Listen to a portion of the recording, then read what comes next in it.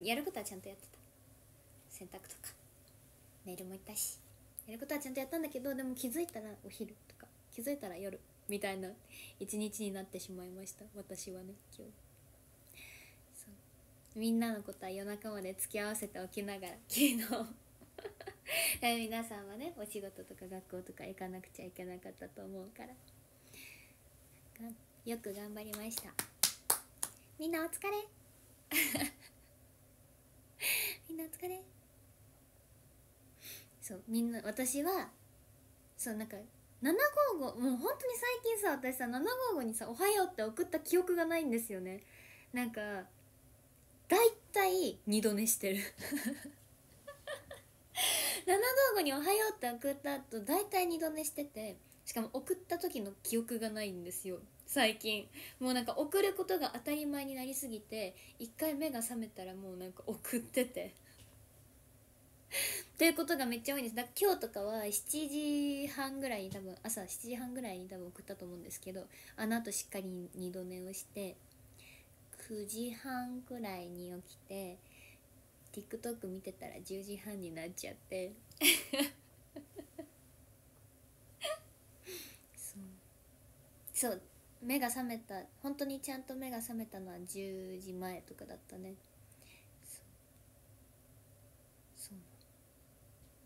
そう。もう習慣になってるから本当にもう無意識。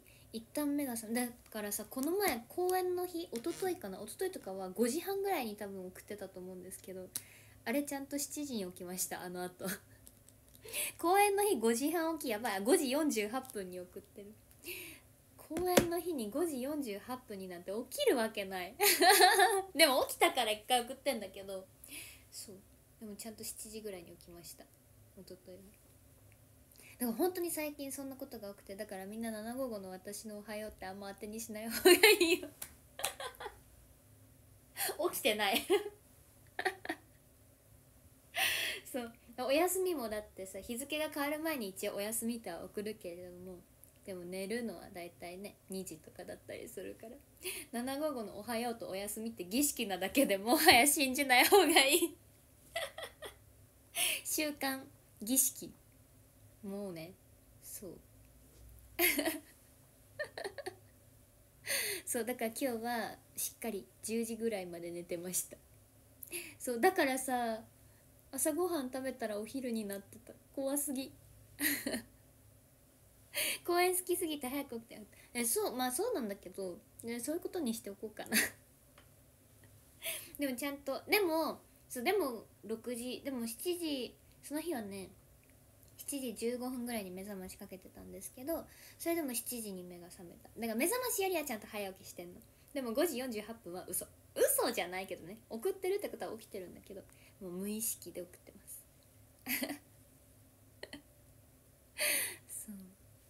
目が覚めると起きたら違うそうなのよ。そうなんですよ。目が覚めて送ってる。いつも。あお風呂は本当。今からお風呂入るねは本当。でさそれさよく言うとさなんかなんていうの？返しに困る反応に困るみたいな コメントが来るんですけど。別になんかえそういう意味じゃない。そういう意味じゃないです。なんかそういう想像とかしてほしくて送ってるわけじゃないから逆にやめてください。違う違うお風呂は本当に今から入るよっていう報告でしかない。そう。そう。今から入る。早いでしょっていつもは結構お風呂入るの遅いんだけど今日はもうこの時間から入るよって。それってどういう意味？違う違う違う違う違う。それってどういう意味？違うよ。そう今日はこんなに早くお風呂に入りますよっていう報告をみんなにしているだけなので別になんかあの反応が困るとかじゃない。困んなくていい。あそうなんだ「いってらっしゃい」が正解です。お風呂行ってらっしゃいが正解です。はい。そんななんかみんな困らせる困らせるために言ってるわけじゃないんだけど。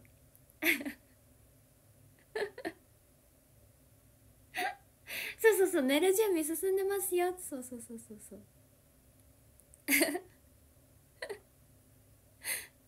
共学の学校だったら行っちゃいけないことまでお風呂入る？ダメなの？だって人間みんなお風呂入るでしょ。全員入るでしょ。そう。えだから何？反応に困るって言われた方が困るんだけど。そっちの方が困ります、はい、夢の国からこんばんはねいいな。明日も行くんでしょ。いいな。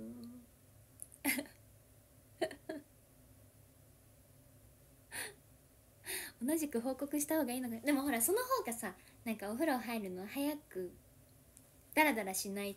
そう私はそうダラダラしないためにみんなに「私もうお風呂入ってるよ!」っていう報告をしてるだけそうそうなんですあざといの上級テクかと思ったやめてよそんな何何を想像させるための？やだよ。19時に間に合わせてお風呂に入ってきました。ほら言うよねみんな。だってさ昨日もさ私の配信前にさご飯とお風呂済ませてきたみたいな。えみんなも言うでしょお風呂済ませてきたよって。えそれと全く同じなんですけど何がいけないんですか？私が今からお風呂に入るような報告の。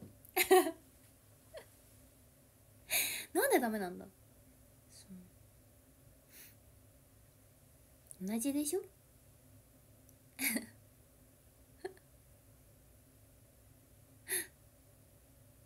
そうだから報告してるだけです。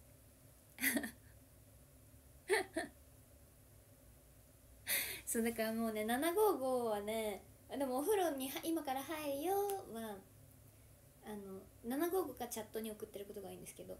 チャットが送れる時間帯だとチャットに報告してるけどあのチャットがもう送れない時間帯だと755に報告してる。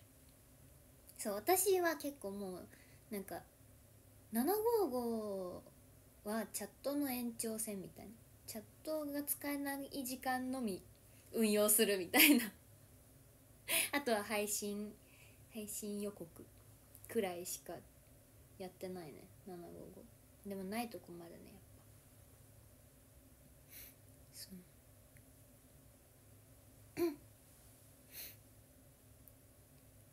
誘われてると思う人おるんか。どういうこと？誘ってはないけど。でもあじゃあ自分も入らなきゃとはなってくれるかもしんないよね。別に誘ってはないです。残念ながら。残念ながら誘ってはないです、はい。チャットのねわかる。もう1年経ったの？チャット始まってから。なんかチャットって最新最新機能のイメージがあったからさもう1年経ったって結構びっくりなんだけど。ね早い。でもあれなんだよね多分。チャットとして使え使い始めたのはまあちょうど1年だけど実際なんか私からしてみたらなんかチャットらしくなったなっていうのは返信読めるようになってからだからそうだね。逆になんか今もう返信の読めないチャットなんかもう分かんない。最初そうだったけどなんかえもうさ想像つかない。返信のないチャットには戻れない。無理。そうだからなんか1年そう返信見れるようになったのが割と最近の話だからあのチャット始まってから1年ってあんまりなんか感じてない。1年。うん。早い。うん。早い。そう。入るよは言ってるあってもし入ったよは偉かったねって。優しい。激ヤマありがとう。それが大正解なんだけど。タグつけて返信しね。そうなんだよね。そのためにタグとか作ってたけど。4期生はまだ返信ええそうなの？えそうなの？えだってさ4期生こそ読めるようにしてあげるべきじゃない？だってさツイッターやってないからさなんかせっかく皆さんがさ返信をさ例えばじゃあ4期生が返信見れないならさポストしたところでさえなんか自分のツイッターのアカウント持ってるわけじゃないからさ見れなくない？えなんで？見れないの？そうなんだ。そう返信見れるようになってからがもうチャットチャット始まったって感じ。めっちゃする。え知らなかった？4期生チャットの返信見れないの？そうなんだ。えー、なんで？なんでだろうメールの返信読めるのに？なぜ？えー、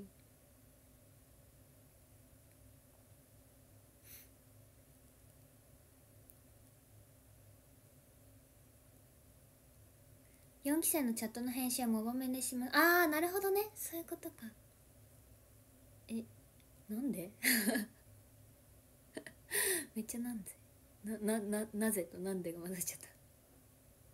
スタッフさん通して返信。ああまあだから私たちが返信自分たちで見れるようになる前みたいな感じ。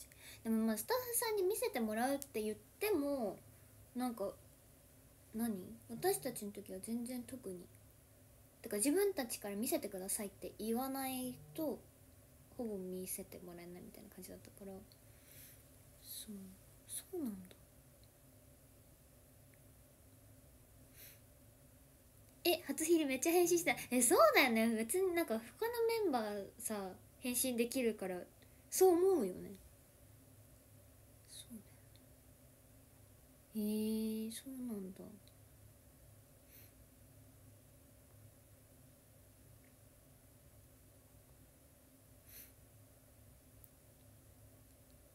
知らなかった。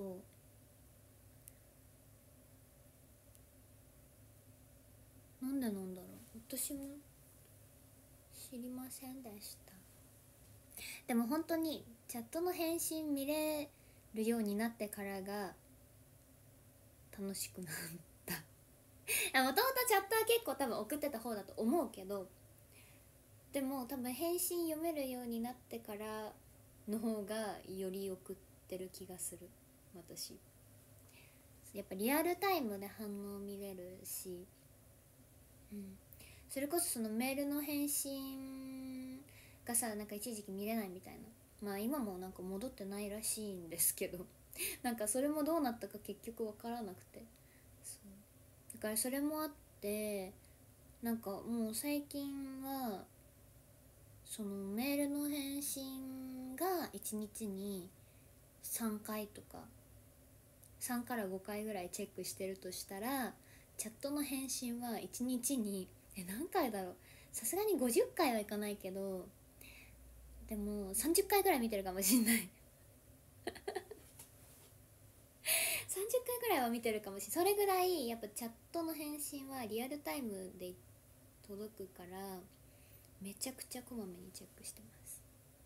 だか自分が送ったら私がそもそも送る頻度がめっちゃ高いから私が送ったことに対してそのまま返信を見ることが多いのでそれだけでも多分普通に比べたらめっちゃ多いと思うし普通に返信だけでもめっちゃ見るから30回ぐらいは1日にめっちゃ見てると思う、うん、それぐらいもうだからチャットの返信機能ないともう無理。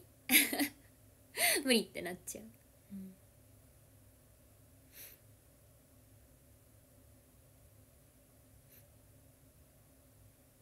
えそうひら開いてまずチェックするかも。何よりも先に。なんかツイッターでエゴサするより先にチェックするレベル。めちゃくちゃ見てますね。そう。えだからちょっとこれ最近すごい思ったんですけど私。あのもうさ待っちゃってるみんなの返信を待っちゃってるからあなんか私多分なんかね今まで私あんまりその人とこまめに連絡取るのが好きじゃなくて 人とあんまこまめに連絡取るの好きじゃないからそうなんかなんだろう。なんかこう好きな人と頻繁に連絡を取りたいかみたいな。でなんかファンの方にも耳は多分結婚したらなんかすごい面倒くさいタイプだよみたいな。って言われてそういや私はそんなわけないって思ってたんですけどでもなんかもう最近なんか返信待ちすぎて多分そうなんだと思う って思った。自分自覚症状出てきたそろそろ。いやもう本当にそれぐらいもうチャットの返信そう返信もうずっと待ってる。常に見てる。1時間おきに見てる。えもう1時間どころの騒ぎじゃない。10分15分に1回見てるレベルだったら50回ぐらいやっぱいってるかな。でも本当にそれぐらい見てる。めちゃくちゃ見てますね。チャット依存症だね。いや本当にそうだと思う。すごい。返信ないと本当にやっていけなくなる。たまたま開いた時に1分前にみゆちゃんいると嬉しい。そうそうだね。まあでもなんか私が送っても皆さんの元に届くのにちょっとラグがあるからそうだけどチャットのキャンペーン始まったから撮ってみるか。えそうなんですよ。ねそうなの。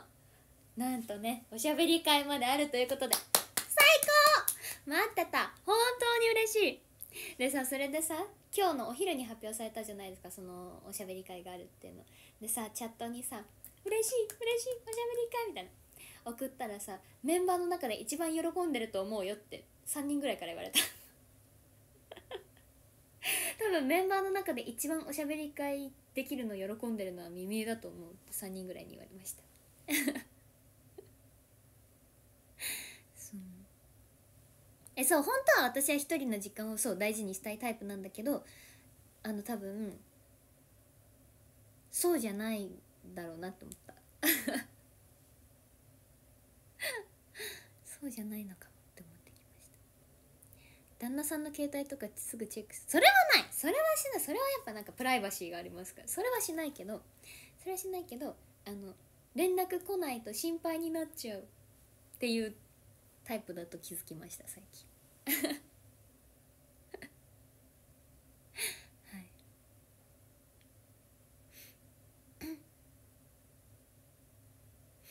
チャット登録して少しずつ返信してた。ありがとう。見てるよ。めっちゃメールの返信も見てるし。全部見てる。チャット見てない時は寝てるか配信してる。えでも本当にもうそのレベルでそのレベルで本当にチャット見てる。公演後のチャットも早い。うん。一番最初終わって一番最初に送る。なんかメールとかツイッターよりも先にチャットに送っちゃう。公演終わったよって。そう。メンバー先に知ってた。あおしゃべり会ですか。えそれが知らなかったんですよね。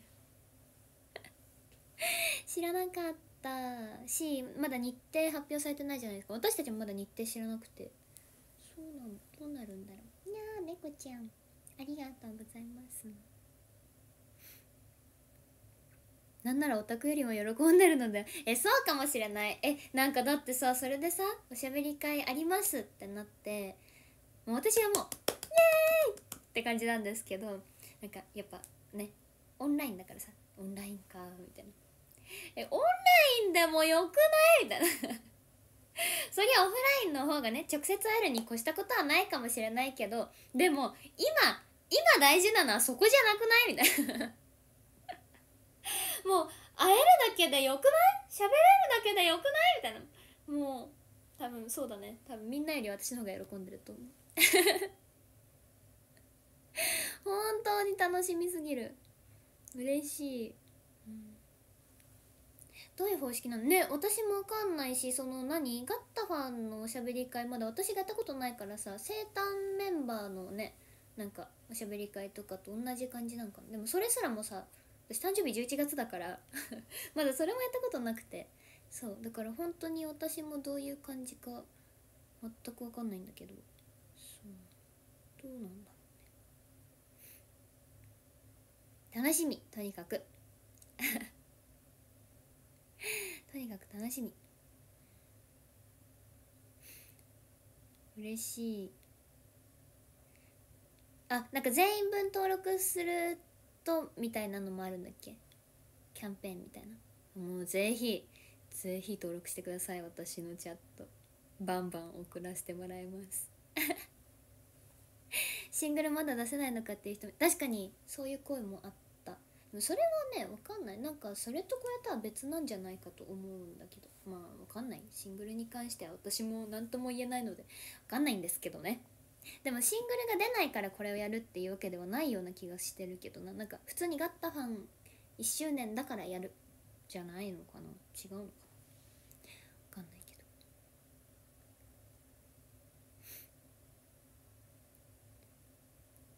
分によって30秒枠と1分枠があそうなんだね。そうなんだ。なんかそのシステムが私もまだ分かんないからどういう感じなんだ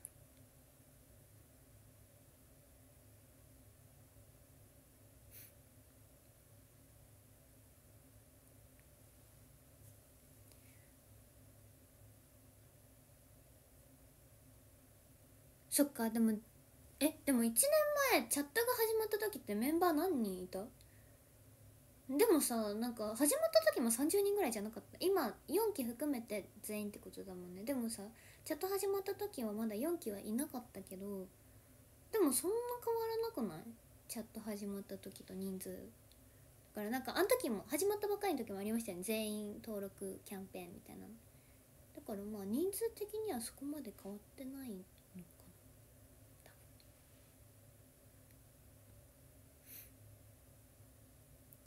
1枠で1回しか申し込めないからまとめ出しはできあそうなんだね。じゃあ30秒と1分の枠だったら1部につき長くても1分までしか喋れないってこと？1人当たり。それを何枠も買うとかできないってこと？なんか。うん難しい。どういう感じなんだろう。10人20人でそれぞれ得点。あそういうことか。なるほどね。そっか。じゃあ何人選ぶかは自由ってことか。全員分取ればメッセージカード付きのポストカードもらえるけど、まあ、10人でも20人でも、まあ、得点はあるよってことね。なるほどね。なまあ誰を取るかみたいなことか。まあ私のことは選んでおいて損はさせないと思います。損はさせないと思いますあやっぱそういうことか。長くても1枠あたり1分しか話せないってことね。なるほどね。そうなんだ。30秒は一瞬だね。30秒早い。早いね。とりあえず耳のチャットは登録するか。うん絶対にしといた方がいいと思うよ。絶対にしといた方がいいと思う。うんなるほどね。そういうことか。あ10人と20人は抽選でなるほどなるほど。そうなんだ。オンライン話し会でもくねくねしてるんかな。いやだからそのくねくねってそもそも私自分でそうやってるわけじゃないからね。なんか外から見てそう見えてるだけであって私は別になんか意図的にやってるわけじゃないから。わかりませんけど。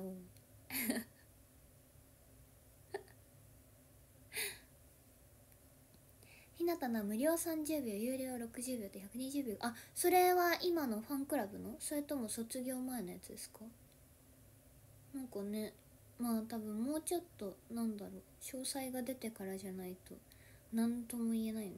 でもどちらにしてもねそのまあ何秒なのかとかさなんか枠がどうとかちょっとまだ分かんないんだけどメンバーによって部数違ったり。ねそれもなんか普通のおしゃべり会だったらそうじゃないですか。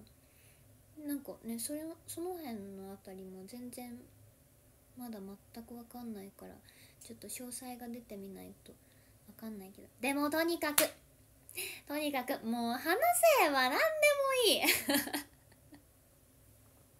もう私はみんなとお話ししたくてしょうがない。話せれば何でもいいです。はい。まあみんなは何でもよくないかもしれないですけど。何でもいいです。はい。もう嬉しい。話せるだけで超嬉しい。そう。でなんかそのでもやっぱそのいやオフラインの方が嬉しいよっていう声もあってまあそれはもう話せるだけで嬉しいじゃんってなるしなんかあとはいやなんかオンオンラインでやったことないからハードル高いみたいなのも来てて返信に。そう。まあ確かにまだオンラインでおしゃべり会したことない人にとってはハードル高いのかなって思うけどでもなんかめちゃくちゃねめちゃくちゃ簡単に言ったら正直これとそこまで変わんないじゃないですか。画面越しに合ってるって。私はみんなが 昨日の話になっちゃうけどアバターかもう実際のご本人かでだいぶ私は変わるけどみんなはその画面越しで私に会ってることには変わりないからだから全然そのオンラインハードル高いとか思う必要は全くないと思います本当に。そう。ただそれで1対1で話せるっていうだけであってその1対1で話すっていうのはオンラインにしてもオフラインにしても変わらないしだからオンラインはハードル高いとかは全然ないと思うので絶対に来てね。なんかまだどうなるか全く分かんないけど。全く分かんないけど。来てね。あひなたさんの卒業今のファンクラブの方か。それともまたなんか違いそうですよね。分かんないけどね。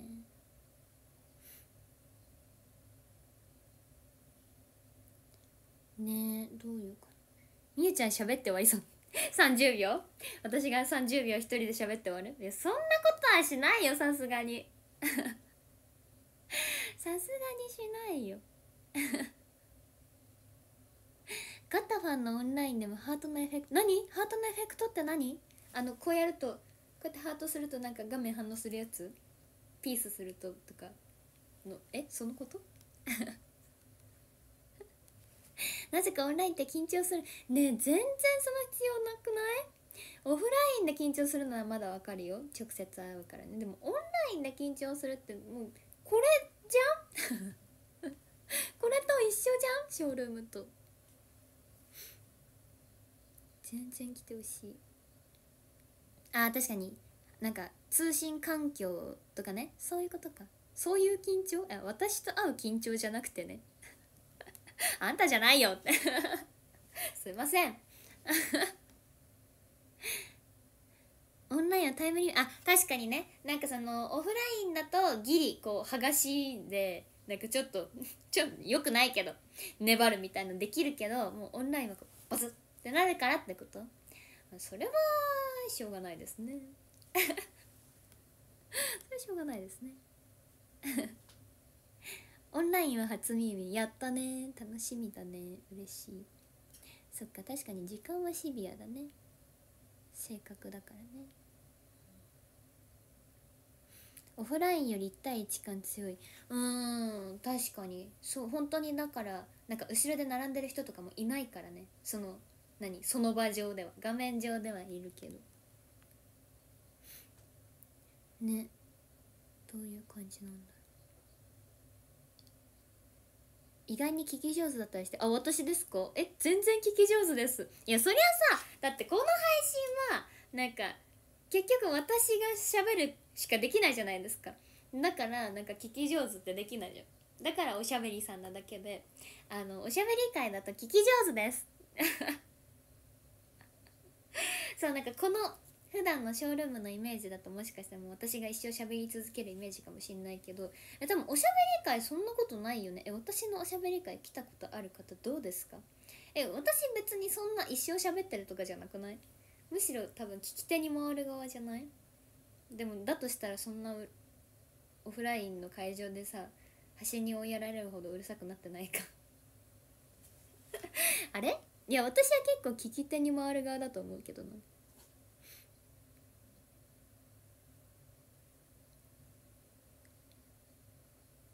オンラインオンラインの良さがねそうやっぱどこでも話せるしね。その遠くに住んでてもね。終わった後に黒い画面に自分の顔が映っていやわかるよ。それは私もだってショールームを終えたらいつもそうだもん。確かに普通のねオフラインだとねみんなニヤニヤしながらレーンから出て行ってくれるから。それに比べるとね画面に自分の顔が映っちゃうっていうのがちょっとねあってなるかもしれないけどね。漏れるようにリングライター買おうかな。いいね。準備して。一応聞いてくれ。ね一応って何？ちゃんと聞いてるけど。こっちから話せればちゃんと聞いうんまあそうです。だから基本はなんかそう。話してくれたらめっちゃ聞くし。でもなんか何喋ったらいいかわからないっていうタイプの方もいらっしゃるじゃないですか。そういう時はめっちゃこっちから話しかけちゃう、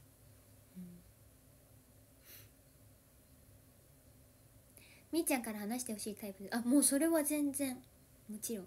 めっちゃしゃべりかけます。そうなったら。そうそうそう。喋ってくれた方が嬉しいっていう方もいるだろうしね。でも話を聞いてほしいっていう方もいらっしゃると思うし、うん、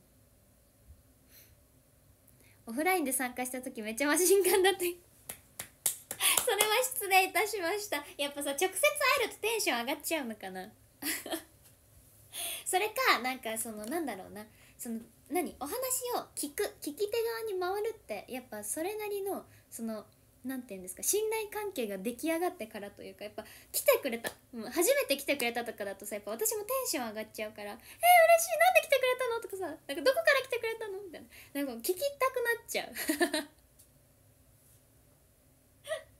なんかこうなんていうの聞き手に回るってもう相手のことを理解してるからこそ聞き手に回れるっていうのが一個あるじゃないですか多分。だからそのあんまりまだ私とおしゃべり会参加したことない方だと私が確かになんかずかずか何でも聞いちゃうかもしれない。知りたでもそれは知りたいから聞いてるのであって みんなの会話を遮ろうとしてるわけでは全くなくてでもそれぐらい早く仲良くなりたいっていう意味だから。お願いだから引かないでほしい。でもちゃんとね聞き手に回ることもできるできないわけじゃないから。はい。ちゃんとできます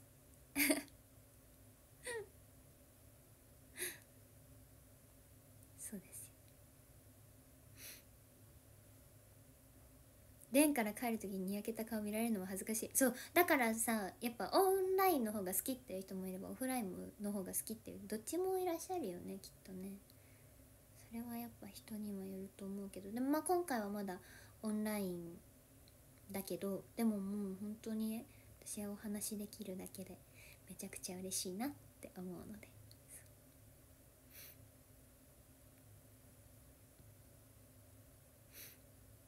また来てしまいました沼に。ようこそ。ようこそ。久しぶりすぎるとマシンガンされる気がする。あそうだね。だからさそう。それはもう問い詰めてどこ行ってたんだって。えそうね聞いてほしい。また聞いてほしいって言っちゃった。昨日のさお見送りでの話をしたじゃないですか。昨日の配信で。その昨日の公演ですごい久しぶりに公演に来てくださったファンの方がいて。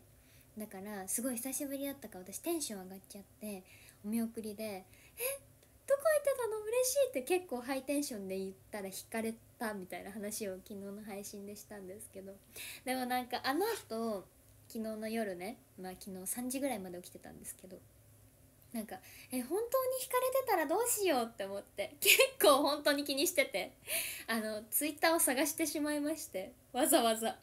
ツイッター探してなんかその公演久しぶりに来てくれたしなんかどなんてなんて感想書いてるかなと思ってちょっと探しに行っちゃったんですよ。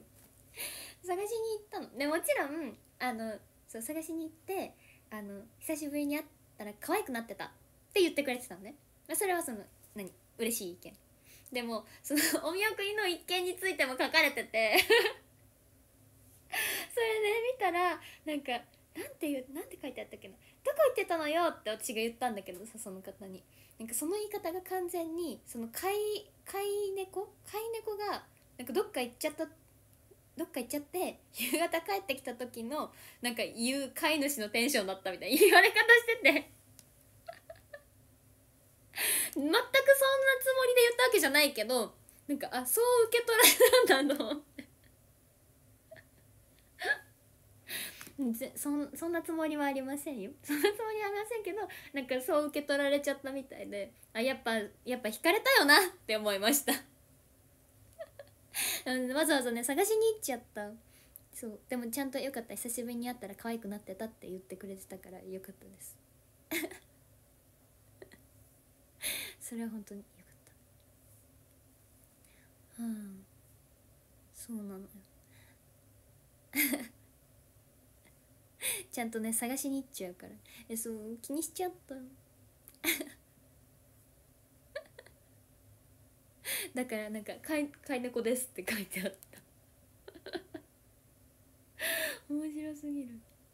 初めてだから「こんにちは」だけでいいかな。あとは見つめるだけ。え全然いいよ。全然いいけど耐えられる？耐えられますか？今回のオンラインだとみんな久々だから常にマシン確かにねそうかもしれない。えっていうかそれをねそのねツイートを見て私思い出したことがあってなんか別の人にも似たようなことを言われたことがあってなんかその人はなんかあのその人にお見送りで私そのなんて言ったんだっけな。なんかねその日の公演でなんかなんとどこどこ行った人みたいななんか何々した人で手を挙げさせてたのなんか MC で。でで私はその人が手を挙げてくれると思ったのに挙げてくれてなくてでも確実に挙げる挙げる対象の人だったのに挙げてくれてなくて。それをお見送りの時に「ねなんでさっき手挙げなかったの?」ってなんか問い詰めちゃったんだよね。別にそんななんかそういうなんていうの？問い詰めたつもりないけどなんか「えさっき手挙げなかったよね」みたいな言い方しちゃったんですよお見送りで。そしたらさ後々さなんかそのお見送りの時の言い方がなんかあのなんだっけ学生時代にあのちょっと男子掃除してとかその何 合唱の練習してとかって言ってくるタイプの女子だったみたいな言われ方してて。私そういうタイプじゃないんだけどみたいな。私全くそういうタイプじゃないんですけどでもなんかちょっとそれとさ近しいじゃん。昨日のお見送りのその飼い猫飼い猫扱いされたみたいな書き方と。そこまで見見てるよ。見てる見てる。なんで手挙げないんだろうって思ってた。って言われててそう。そんなつもりじゃないのになみたいな。でも確かにちょっとなんかでもね本当に私そういうつもりじゃないそういう意味があって言ってるわけじゃないけどなんかそのテンション上がっちゃうお見送りもねテンション上がっちゃうからなんか言い方聞こえ方的になんかきつく聞こえちゃうのかなと思って。そう。私はそうなんか全然そんなつもりないけどそう聞こえちゃうのかなと思ってちょっと反省しました。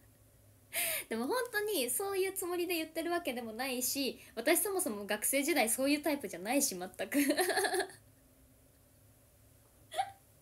そうだからちょっとねあのどうどうしたらいいんだろうと思ってお見送りでもテンション上がっちゃうからしょうがないんだよなみたいな。そう声が大きいからかもしれない。そうなんかねちょっと強く聞こえちゃうのかもしれないもしかしたら。きつめに聞こえる？ねでも全然そんなつもりで言ってるわけじゃないのでね。そう。そう。でもそれそれを言われたことがありました。なんか昨日のお見送りもでも昨日のお見送りはでも私も反省してた。そう。絶対に勢いよく行き過ぎた。引かれたと思ってたから。最近のお見送りはほとんど何言ってるか分かり待って待ってそれはさどういう意味聞こえてないってこと？それとも私がうるさすぎてなんかテンション高すぎてなんか何言ってるか分かんないってこと？どういうこと？そうなんだね。そのポスト見つけてしまった見つけた？え飼い飼い猫扱いされたみたいなやつ。全然でもタグ付けとかされてなかったんだけど。そうだから探しに行っちゃった。なんかもともとタグ付けとかするタイプの人じゃなくて。探しに行っちゃったね。うんなんですよ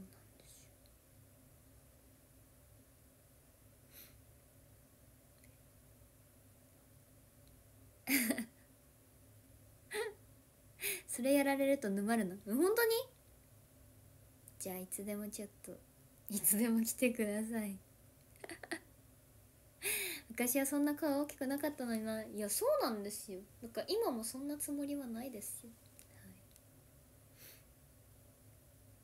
お見送りで名前呼んでくれる子減ったので嬉しいです。いつでも呼びます。マシンガンだから耳が追いつきません。ちょっとテンション上がっちゃうんだもんだって。だってさその見送りっていうこの短い時間の間でさいかに自分の思いを伝えようかと思うとさ伝わりきらない。ってか伝全く伝わらずに終わってるってことだよねそれ。意味ないじゃん。全く意味ないじゃん で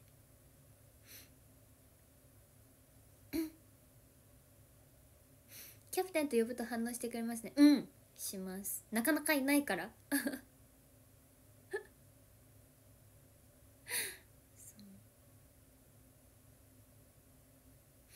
みゆちゃんはタグ付けしてもいいの？あもちろんしてください。めちゃくちゃ見てますよ。あでもタグ付けしてなくてもまあ見てるけど。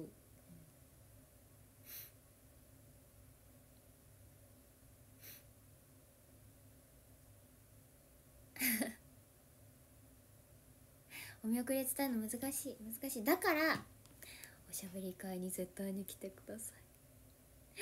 そう。もういつもいつもはもうおしゃべり会がないからこそお見送りでいかに伝えるか命かけてるけど。おしゃべり会があるならねもう絶対に絶対に絶対に話したいから来てほ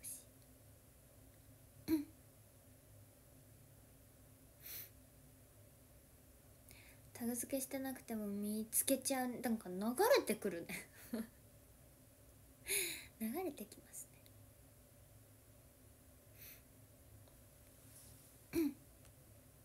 流れてくるしあとはなんか普通に私の投稿に対してリプしてくれてたらそっから飛んだりする。だからなんかわざわざ検索するとかではない。かな。なんかリプリプから飛んだりとか。おすすめに流れてきたりとかそうって感じです。だから探しに行くと言ってもそのなんかめちゃくちゃ検索したりとかそういうことではないので安心してください。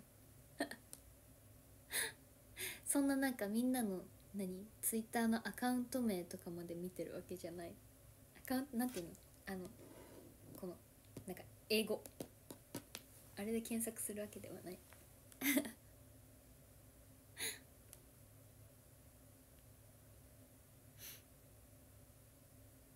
そうやって釣られた人がここにいるんだけどね。やったね。やったね。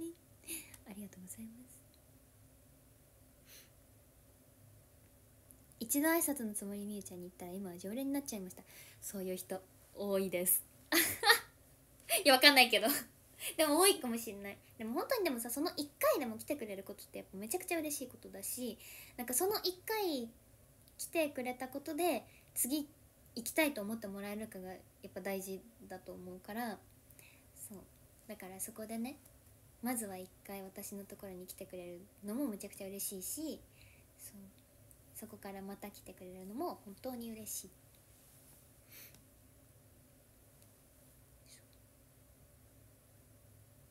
いつの日か私の投稿みゆさんのもとに流れていくのかあめっちゃ見てるよ。めちゃくちゃ見てるよ。お見送りはあの一瞬で頭の中が次の人に切り替わるのがすごい。あでもそれはさおしゃべり会もあんま変わんないですよ。次の人がもういるみたいな。そう。だしあとはなんかその公演中にあこの人にこのこと伝えなきゃって思う時ある。あ今日この人来てくれてるんだ。あじゃあお見送りの時これ言わなきゃ。ってなんか用意してる場合もありますね。公演の間に。そう。それもある。友達が釣られそうです。もうちょっと。もうちょっと。NCT 最高です。もっともっと輝いてほしい。頑張ります。ありがとう。マックの募金イベントで一気に心。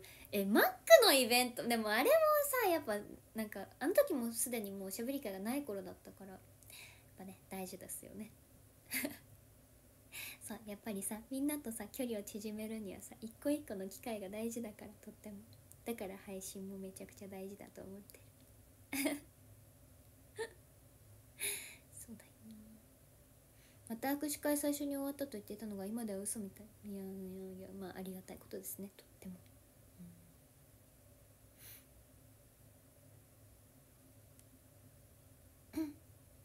それを考えながらパフォーマンスできてうん。とかまあ普通に MC 中とかもあるし パフォーマンス中もそうだけど。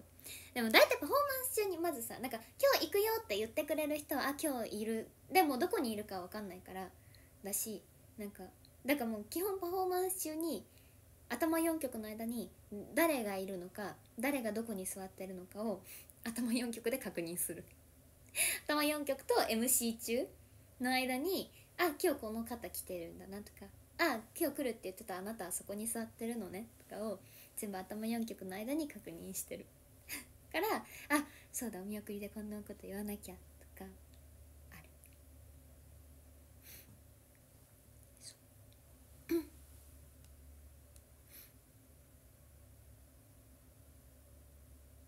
いっぱい行き過ぎると話すネタなくなっちゃったりする？えそんなことなくない？え逆にそうですか？もうもう会わなくていいかなってなっちゃう？私と話すってなったら。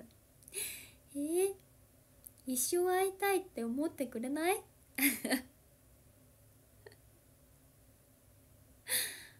自分の知り合いもハマりたくなさそうだけど気にな何なのそのなんかえ抵抗？自己抵抗みたいな。え何それ？素直になりなよって言っておいて。自分に素直になった方が楽だよって伝えておいてね。推し財布ってなくても確認したりする。うんするよ。あれ？今日この人いるのに今日私の推し財布ってくれてないんだ。までちゃんと見てるよ。ちゃんと見てます、はい、そうだからたなんかよくさあるのがさお見送りでさ「あそこに座ってたでしょ」とか結構みんなに言っちゃうんだけど。それとか本当に公演中に「ああそこに座ってるんだね」って確認しちゃうから。そう。たまには事前に言わずに入ろうかなとか考えてる。えなんかびっくりするよ本当なんで言ってくれないのって思うけど。だからさ言ってくれてなくても見つけるからだからこそ「え来るって言ってなかったじゃん」ってなる。会う。ほどに話したいことが増えます。でしょ？話すネタがなくなるほど話すき確かに。もうだっていつからやってない誕生日過ぎてから12月頭とかからやってないからそもそもいくら枠があったって話足りないはずなんですよね。話さなきゃいけないことがいっぱいありすぎてね。足りなくなること絶対にない。そう。沼るのが怖いのか。なんで？怖くないよ。なんでよ。踏み入れちゃったらハマっちゃうのが分かるから行きづらいの。なんで？こっちはもうもうすごい。何？超オープンで待ってるのに？超オープンで待ってるのにさ。そう。なんかそれがねこっちからもうひょいっていけるものなら行ってるものなのにさ。でもそれができないからさ。そう。私たちはもう待つことしかできないわけですよ。もうこんなにずっと待ってるのにってなってるよそうだよ。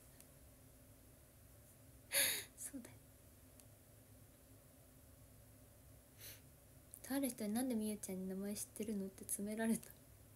詰めないでください。知っちゃダメ？ダ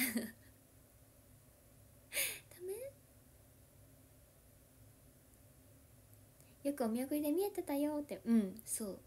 めっちゃどこに行っても見つけるからね。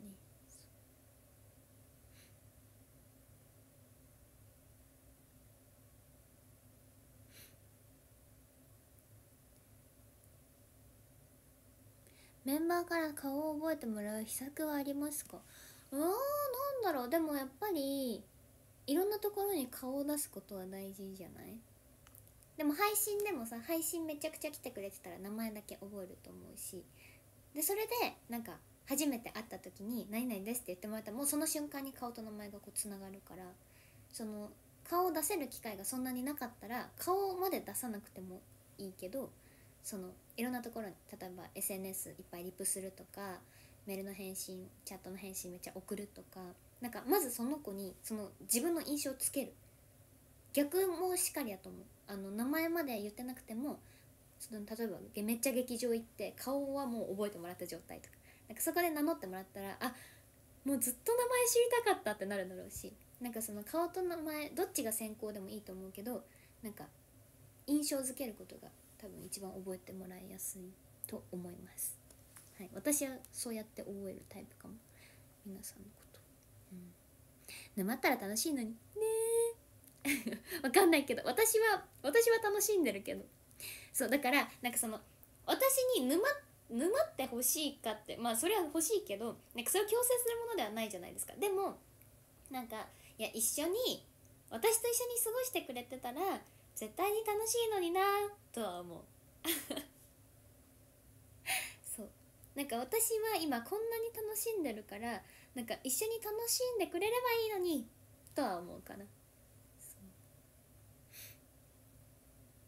そうなんかもったいないかもよって。今こんなに私が楽しんでて一緒に楽しんでくれたらいいのになっていうのはすごい思うね、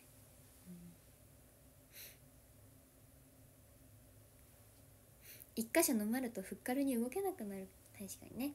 DD なタイプの人にはちょっともしかしたらあの飲まりたくないのかもしれないね。アイコンで覚えたたりもすあめちゃくちゃします。だからこの前あでもそれはアイコンじゃなくて名前だった。なんかこの前劇場で名札をつけてきてくださった方がいて初めてお顔見た。ってなりました。めっちゃ名前ツイッターで見たことあるって言っちゃった。その名札見て。そうアイコンの時もあるなんか名前言われて「あえアイコンこういうやつですか?」って聞いたりする時もあるし。それもある。なんかもうさ顔が見えない分さなんかショールームだったらアバターがもうその人の顔として覚えられてるみたいな感覚だからそうアイコンもそうだね。名前とアイコン一緒に覚えてるみたいなのも全然あるので、うん、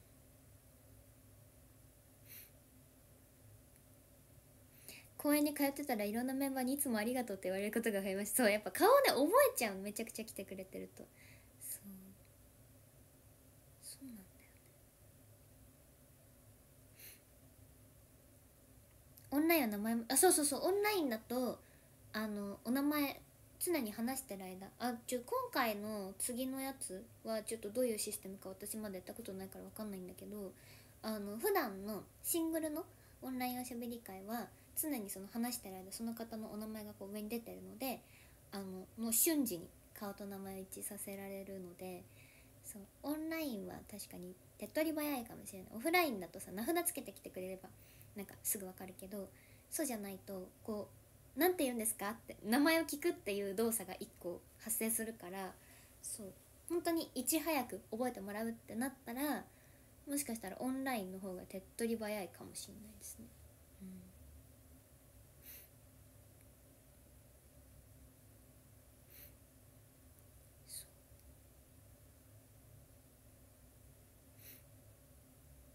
オンラインだけでもでもそう逆に十分 それで十分覚えられますね、うん、みえちゃんをし始めたら正直めっちゃ楽しくなります。え？嬉しい。それめちゃくちゃ嬉しいです。なんかそう言ってもらえるのってすっごい嬉しい。しかもさなんかこの私を今応援してくださってる方の中には卒業したメンバーをもともと推してたっていう方もいらっしゃるのね。なんかそういう方ってもちろんもともと卒業しちゃったそのメンバーとの思い出楽しいもう絶対にあるじゃん。でなんかそこと私との今の時間って比較するものじゃないけどでもなんか耳との時間も楽しいって思ってもらえるのはやっぱすごい嬉しいから。そう。だからとっても嬉しいですね。そう言ってもらえるのは。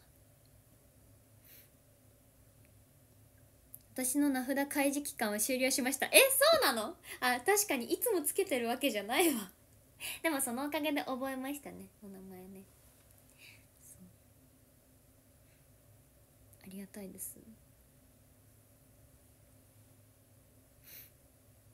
新しいネイル？あそうネイル見せてなかった。私実はまだネイル見せてない。待って。1時間経つんだけど。今日私ネイルを変えたネイルを変えたっていうのを見せるために配信したのね。まだ一回も見せてない。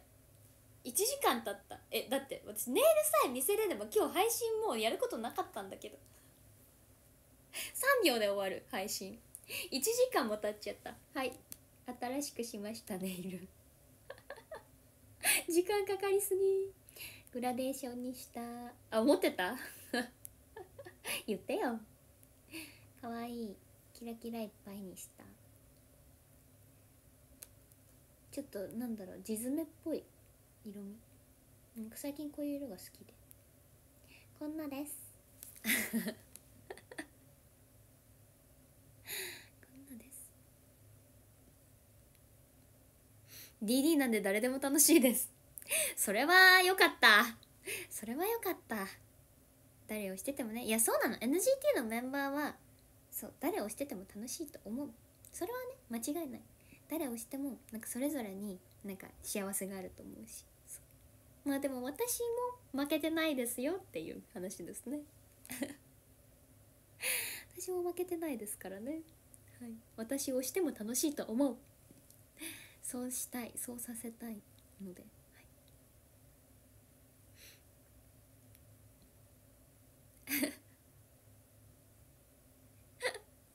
やばいオープニングトーク1時間。待ってそうだよね。でもネイル見せるために今日は配信したからこれが本編だよね。だとしたら本当に1時間だったね。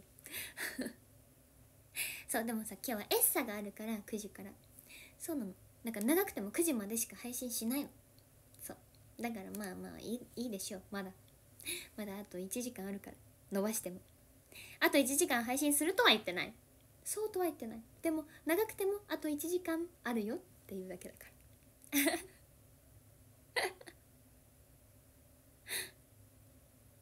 そうそ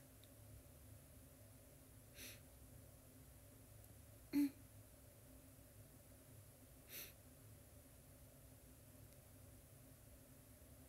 風の陣でそのネイル見に行きます。見えるかな？あんまりその派手な感じのネイルじゃないんだけど。見えるかな？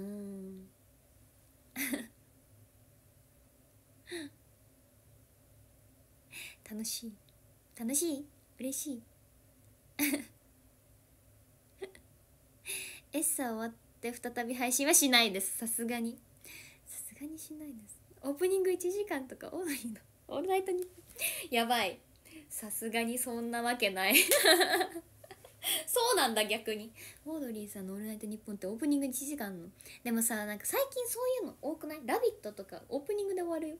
私「ラビット!」めっちゃ好きでよく見るんですけど「ラビット!」祝日とかオープニングで終わるからもはやオープニングとはってなってる。もうねやっぱオープニングがメインみたいなやっぱ最近の流行りかな。そう流行りだから。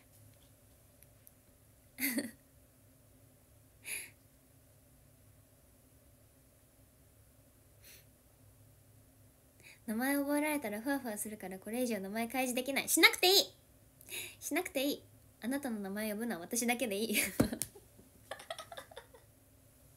て本当は思ってる。みんなに思ってる。みんなに思ってる。でも私が名前呼ぶことによって覚えられちゃう人もいっぱいいると思う。私が声がでかくて。そういう人もいる。だからさいや本当にだから悩ましいとてもいつも。名前呼びたい。でも私が呼ぶことによって周りにバレちゃうな。みたいなねありますよああ危ない危ない。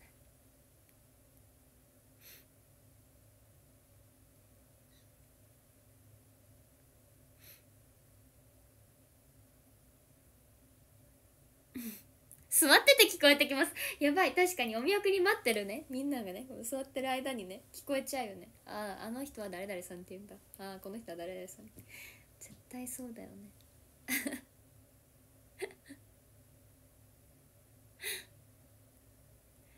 だよね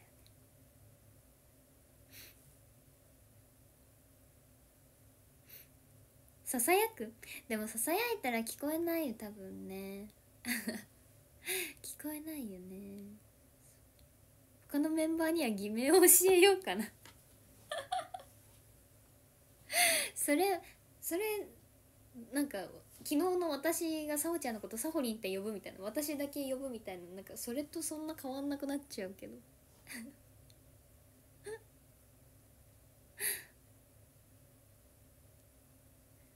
かいりちゃんとポキちゃんをし押した時点でそこは諦めました。確かに2人とも声でかいから。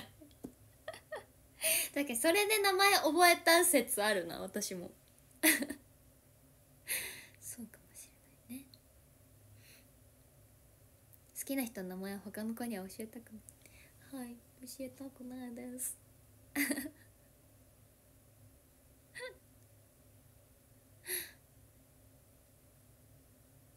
名札つけていったら推しに誰に見せるの？それ確かに。えそうだわ。推し以外に覚えてもらいたいから名札つけてるよね。それはもう。確かに。でも覚えちゃったそのおかげで。かほごめん。ありがとう名札つけてくれて。覚えちゃった。でも確かに推し推しにだけ名前を覚えられてたらそれでいいっていう人は名札つける必要ないもん。確かに。そうだね確かにお見送りで他のメンバーが耳の知らないファンの名前呼ぶと気になる。えめっちゃ気になる。めっちゃ聞き耳立ててる。でも聞こえない大体。みんな声ちっちゃくて聞こえない。隣も私だったら確実に聞こえてたけど隣の子声ちっちゃくてなんかなんとかさんって呼んでる。なんかこの人の名前知りたい。呼んでる。でもわかんない。みたいな。めっちゃあります。フォロワー1万人。わありがとうございます。嬉しい。すごい。だってショールーム始めて何年 ?6 年以上？6年以上経って。ショールームのフォロワーが1万人ですって。ありがとうございます。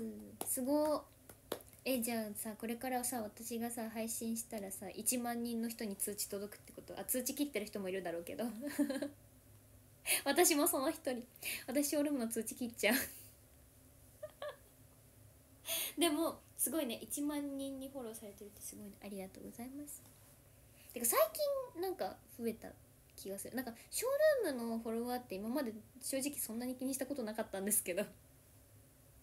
本当にどの SNS よりも気にしたことなかったけど。でも多分最近多分さ常に配信しすぎててさ私に興味ない人もさショールーム開いたらこいついつもいるなって絶対思われてたよね。でもそのおかげでもしかしたらフォローしてくださる方が増えたのかもしれないね。ありがとうございます。長く配信してよかった。よかった。すごい1万人ですって。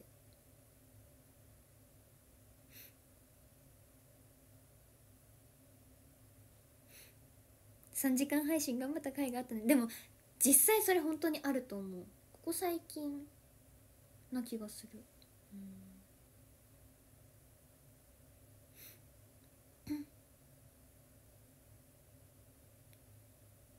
うちはあと犬の名前呼んでもらったら一家コンプですね。すごい。教えてねじゃあ今度ワンちゃんのお名前。なんならオンラインとかで見せてほしいワンちゃん。うちの子ですって。見せて今度。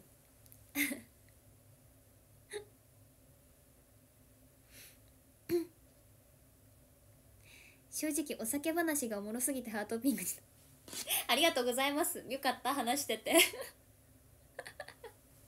りがとうございます。ちょっと喋りすぎって思われてるかもしれないけど。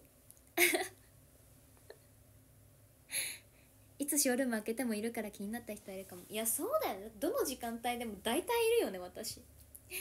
本当に。でもそれ大事だよね。うんほ ぼ毎日イベント参加してるもんね。はい。お酒トークの効果はあるのかな？確かに最近はしすぎてたなってちょっと反省してますけど。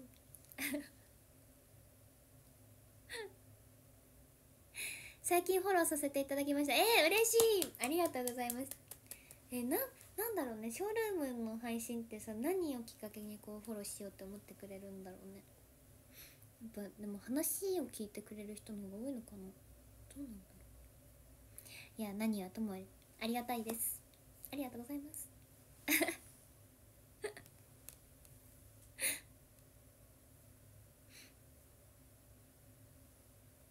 配信の間に帰宅できる長さえそうなんですよ。よくね皆さん通勤通学に使われてる方が多くてですね。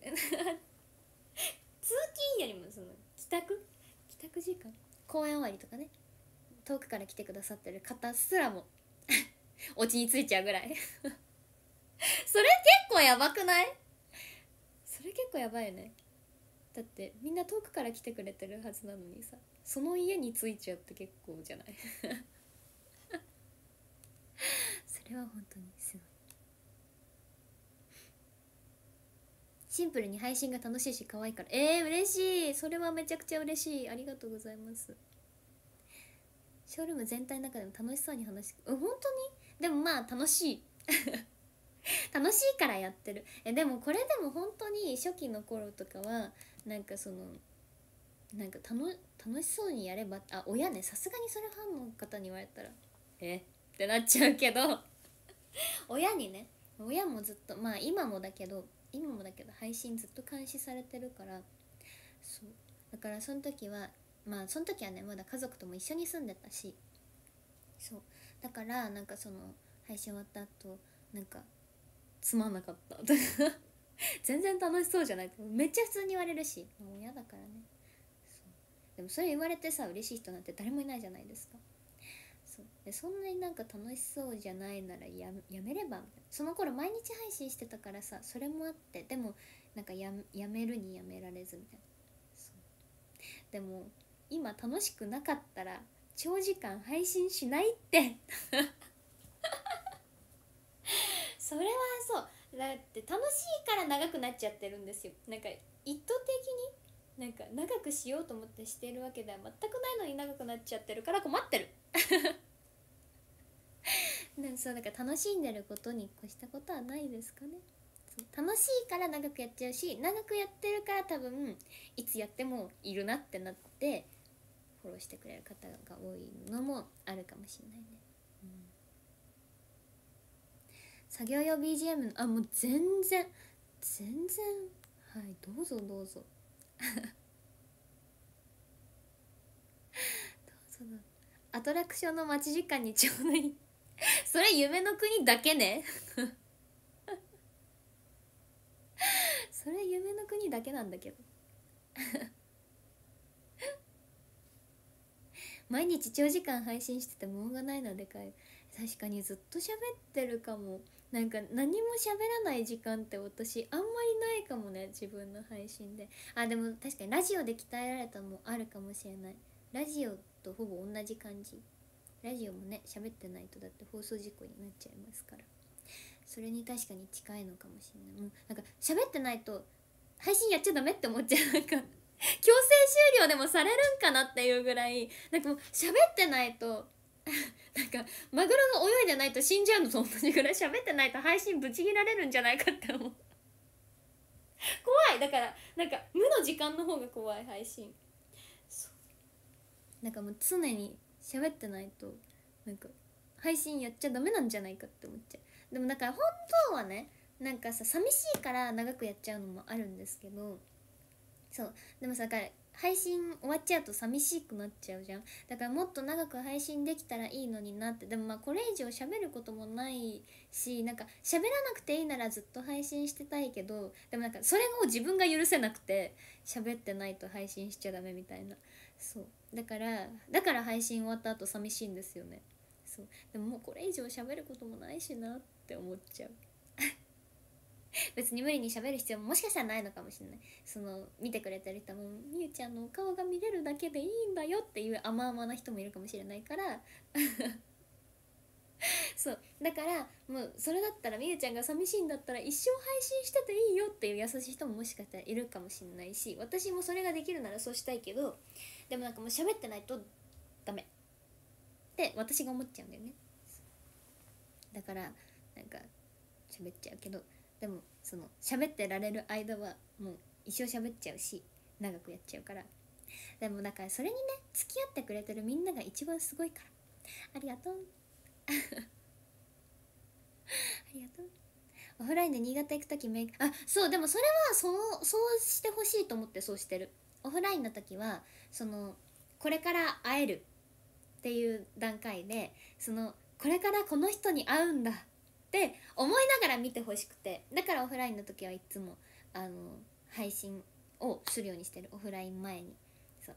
今からあなたに会うために私は準備します。みたいな様子を届けてる。そう。そそれはそうだね。オフラインの時はそれを意識して逆にその時間帯に配信してるから。そう。だからそれを見ながら現場に足を運んでくれるっていうのは大正解。大正解です。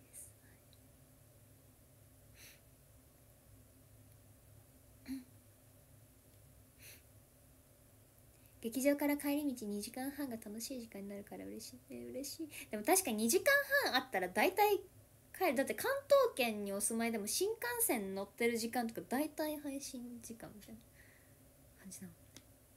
そう思うとすごい関東圏だったら私の配信の間に大体帰れるんじゃないか。それって結構すごいね。すごい。でもよかった。朝の配信30分長くえそう。だから30分配信でも喋ることなさすぎてなんか30分って長って配信しながら思っちゃう時も正直あった。もう今30分秒すぎて怖いよね。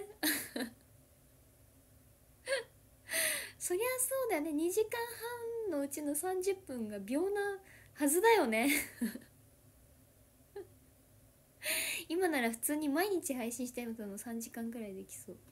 いやわかる。でもさすがにみんなの方が先に倒れると思う。ごめん今日ぐらい休まして。みんなの方がなりそうだからやらないけど。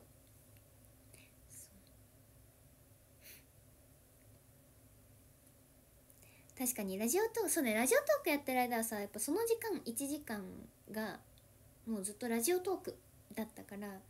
でラジオトーク終わった後配信とかもしてたからそう考えると今までと大して変わってないのかもしんないね実はね。ラジオトークやってた分配信に回したと思えばそこまで変わらないのかもしれない。こんなに楽しんでるのが伝わる配信見たことえ？ー、本当に？それはめちゃくちゃ嬉しい。いやもうみんなのおかげで楽しめてますから私は配信本当に。時間制限なかったら朝まで話して話す話せるかな？でも話せそう。でもねこれ私がさずっと喋ってるだけじゃないじゃん。結局みんながさこうコメントしてくれたり反応してくれるから私もずっと喋れるのであって。そうですよ。だからねみんながいないとそれはまあできないんだけど。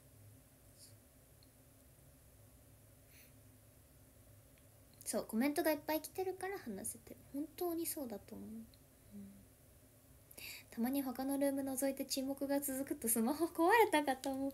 あでも私もたまに思う。あれ今止まっちゃってる？でも私の配信止まってるって思ったことあんまりないでしょ。ずっと喋ってるから。止まってるって錯覚したことあんまないでしょ。それ本当に止まってる場合の方が 本当に止まっちゃうことはよくあるんだよね。そそっちの方がね。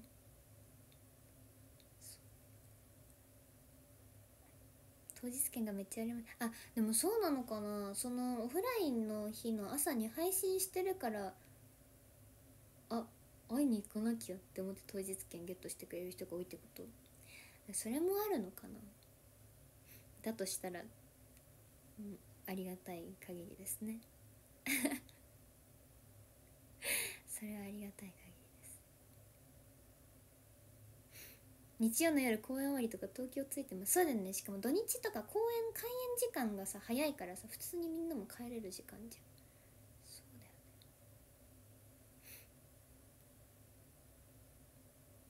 ショールームイベント中。いやでもほんとそれさそれすごかったよね。なんかショールームイベント私は2回。まあビスだけで2回やったけどさあったけどそのなんだろう。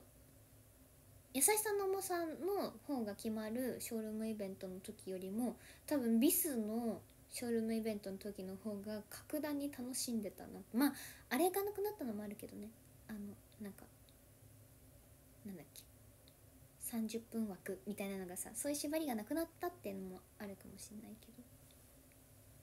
そう。もうなんか楽しいイベントとは思えないぐらい楽しんでるしイベント終わった時の方がイベントみたいになってるしみたいな。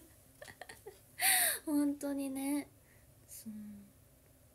この配信が睡眠導入剤になってる。あ嬉しい。寝ちゃってんのかい。いいけどね。全然いいけどね。見てくれてるだけで。全然寝てくれてもいいんだけど。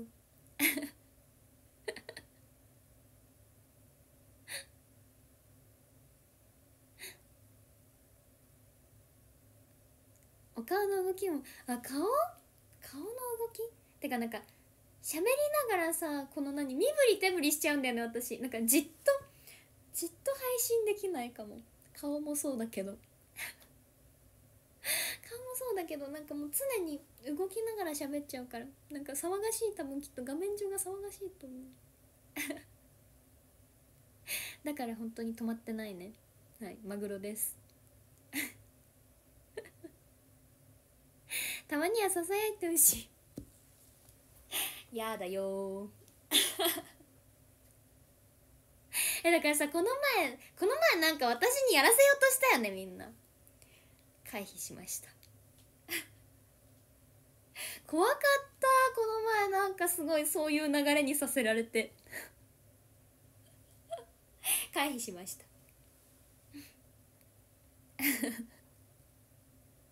いやそうだよね。騒がしい。もうなんか最近の配信私騒がしすぎて多分ささやくとか言ったらみんなびっくりしちゃう。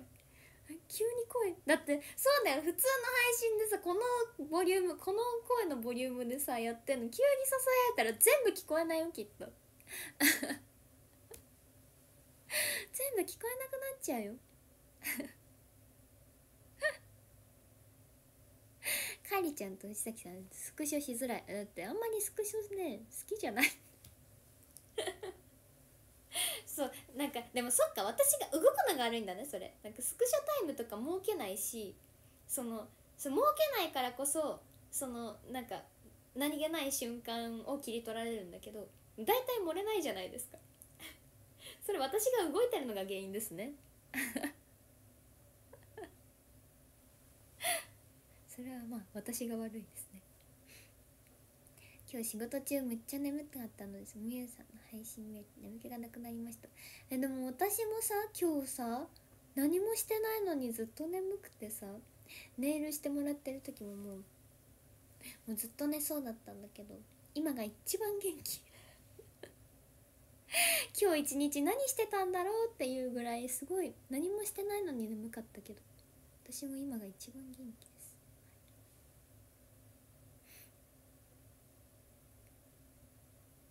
ですささやいてるの一度も見たことがないです。びっくりさせちゃう。だからささやいたりなんかしちゃったら。逆にそろそろささやきたい頃じゃない？え何ですか？え何ですか？そんななんかあの季節みたいに巡ってくるものなんですかね？周期？周期的に来るものなんでしょうか？ささやきって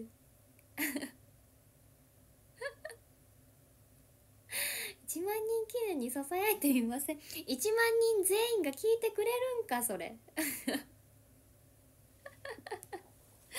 てくれるんか。昨日厳選したけどスクショ載せない方がえでも大丈夫。昨日のもめっちゃ漏れてたよ。厳選してくれたのね。ありがとうございます。大事厳選本当に。私大体動いててスクショ多分そう撮る暇もない。スクショする腕が上がりました。そりゃよかった。そうそのおかげでみんなが可愛いスクショ撮ってくれる。でも本当は多分もっとちゃんとスクショタイムとか設けたら可愛く撮れると思う。じゃあ撮ってみて。じゃあ撮ってみて。今日は特別。でもやっぱねこれがダメなんだ。やっぱできないよ。なんかこのさ何？じっとポーズを取るができない。スクショタイムというものが無理。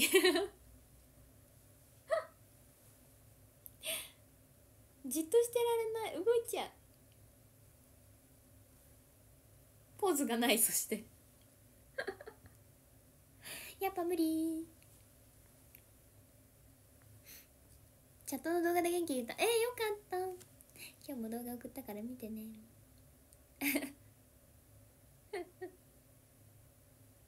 ささやき配信が恋しくなる周期。あ確かにみんなはその周期があるかもね。かに確かに。あまあでもそれはそれはなんかその何需要に応えてあげなきゃいけないかもしれないですけれどもう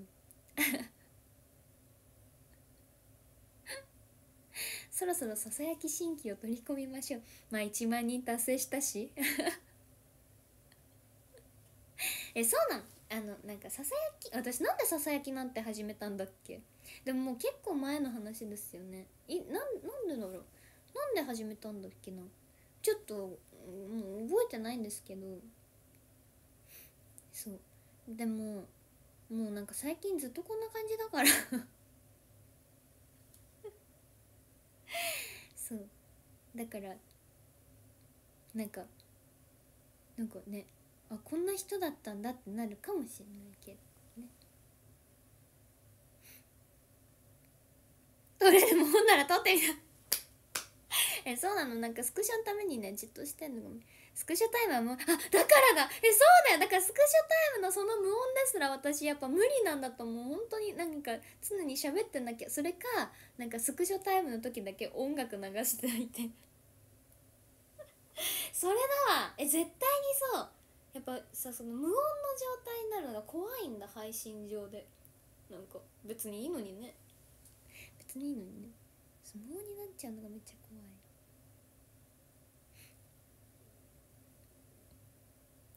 妹氏が寝てるから。いやー何だったっけな。なんでささやきなんて始めたんだっけな。みんなのことをメロメロにするため。あもうそれはそう。それはもうそのためにやってるから。でも当時はまだそこまで意識してないですよ。そんなに。でもいつから始めたか忘れちゃった。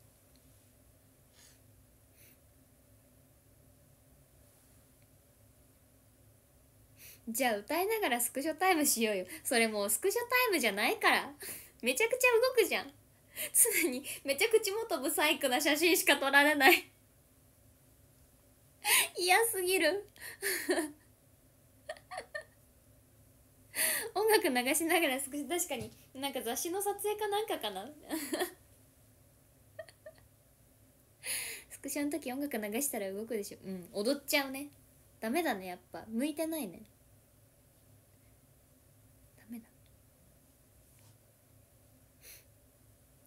そうなんでやり始めたか忘れたけどでもなんかね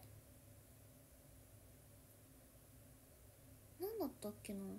なんかでもあの何かで YouTube とかえその当時 TikTok なんて見てないからな。何だろう。でも忘れちゃったけど何かでなんかささやき声のあ分かった。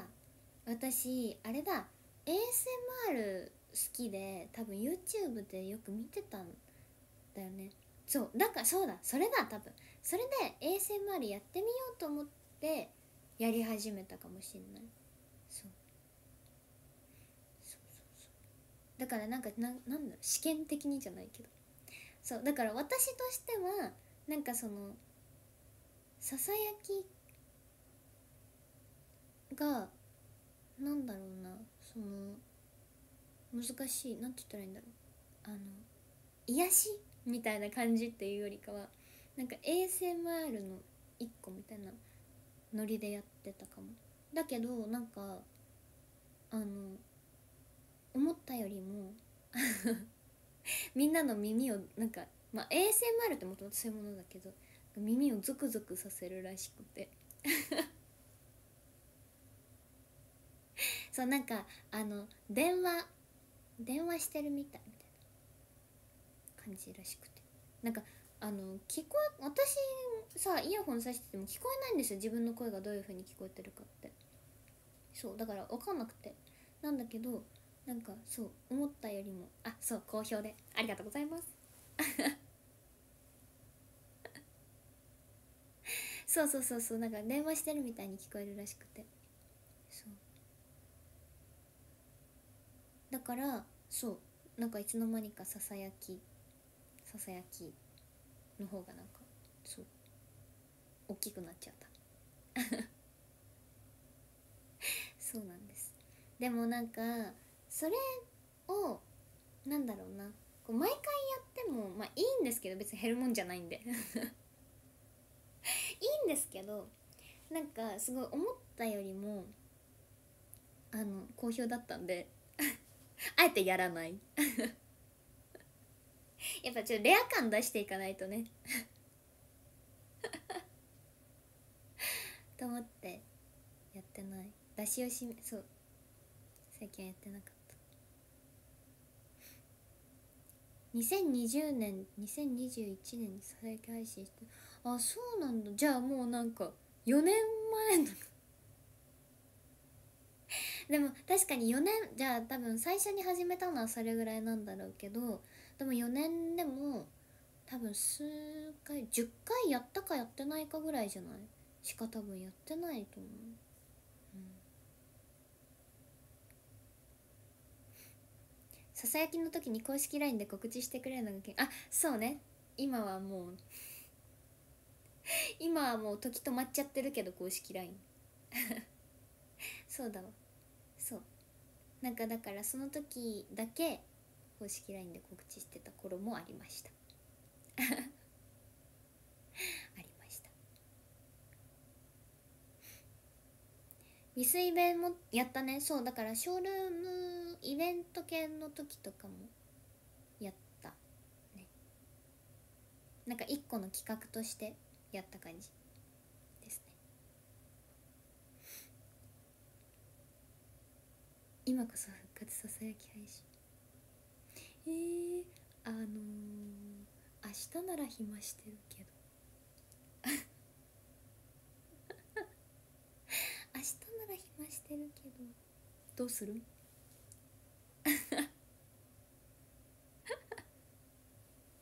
公式 LINE バレンタインからとわかる？わかる。しかもそれもう23年ぐらい前のバレンタインから止まってる。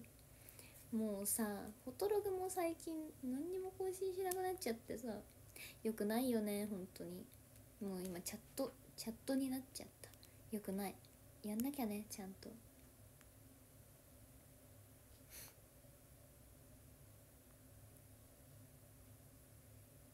未遂弁の時は一発目がささやきじゃあそうだったかもしれない。そうだねそうだね。そうだったか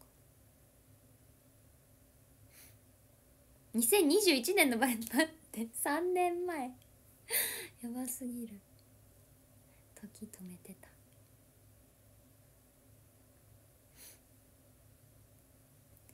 えそんなにそんなに需要あるかい？フォロワー1万1人目を獲得するチャンス。確かにね。やっぱもっとね上を目指していかないとね。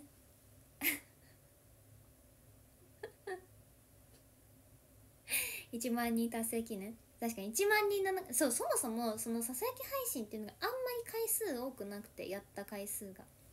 そうなんだよね。だからその1万人の中で何人それを聞いたことある人がいるかって話だよね。そもそもね。そんなにいないかもしれない。普段からなんかフォローしてくださってる方でももしかしたらあんまり聞いたことないかもしれない、うん、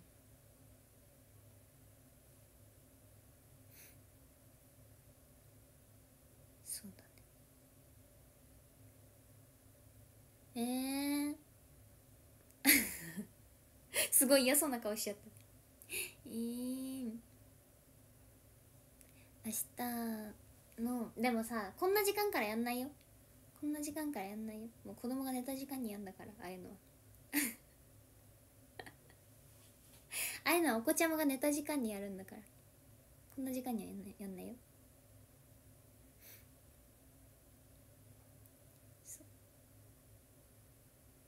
だからうん何時もう何時でもいいんだけど明日。明日は何時でもいいんですけどね。3時ぐらい？終わってる。配信できる時間終わってる。えー、っと換気休憩挟んで2部から始めようよ。あ待ってそういうこと？明日私2回配信しろってこと？いつも通りこの時間に配信して夜にささやきをやってということ？二部制にしてってこと？それはちょっとわかんない。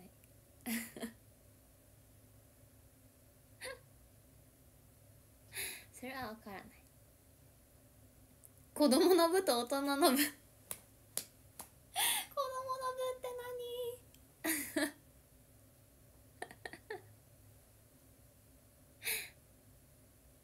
何？えー、どうしようかな。合計6時待って待ってささやき声で3時間はさもうなんか な何？罰ゲーム？大きい声出しちゃいけないみたいな罰ゲームでもやってます？すがにささやき声で3時間喋れないって多分大きい声で3時間喋るより難しいと思う。あもう声が出ないってなるかもしれない。えー、そうだな。どうしようかな。どうしようかな。明日明日絶対に聞いてくれるって言うんだったらやってもいいけど。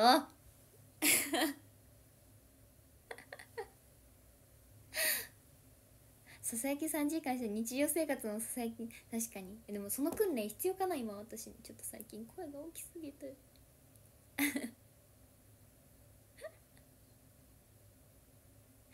インスタの質問箱で言ってほしいセリフ募集しよう。はずい！それははずい！いいけど。いいけどちょっとちょっとそれはなんか恥ずかしいかも。大大公開してるみたいで恥ずかしいかも。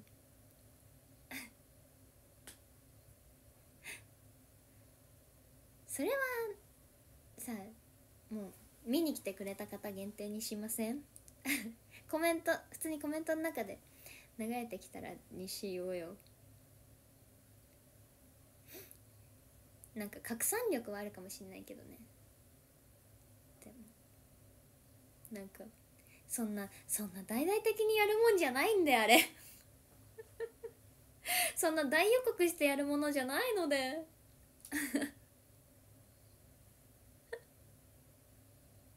まあなんかそこで募集した方がねなんかいい良さそうではあるけど。けど。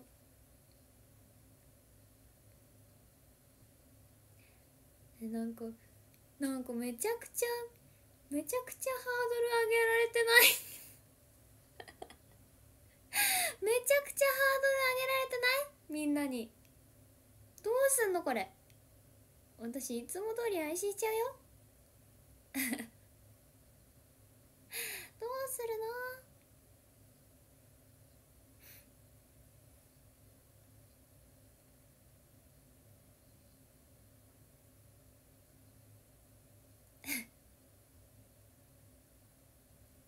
明日のか何？明日のコメントはどこで欲しい？あもう普通に明日配信したとして言ってほしい言葉をコメントしてくれるでよくない？いいつもはそうしてるんだけど。明日早く寝ないとなんだけどそんなの関係なくない？ああそれは早く寝た方がいいと思うよ。それは早く寝た方がいい。るなら。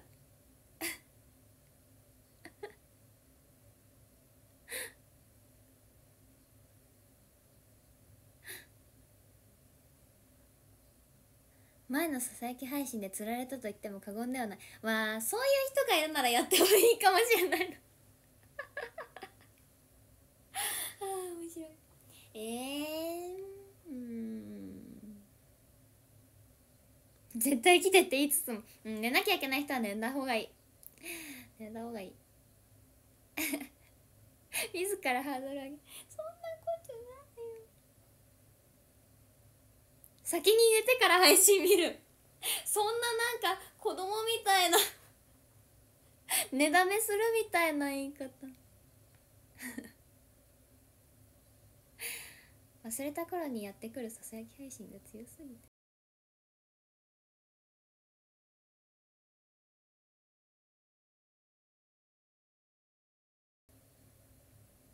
まあおしゃべり会の宣伝も兼ねて。ちゃうよね。うん。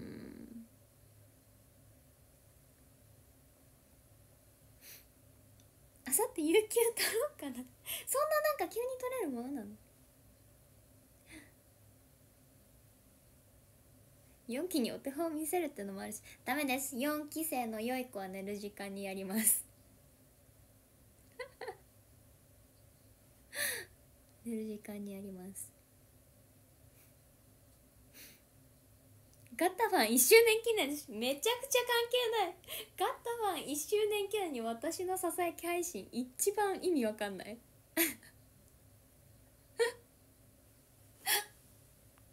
すごいすごい意味わかんない。ああさってゆうきのように。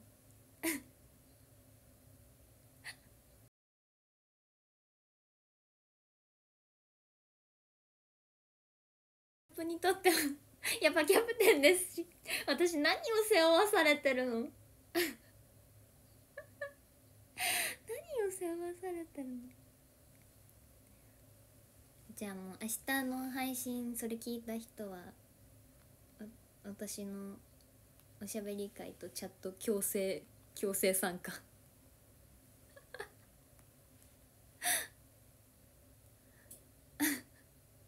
キャプテン背負いすぎないので 急に優しくされたんですが。うん。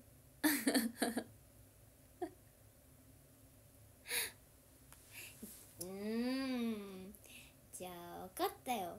明日の何時にしようかな。20 20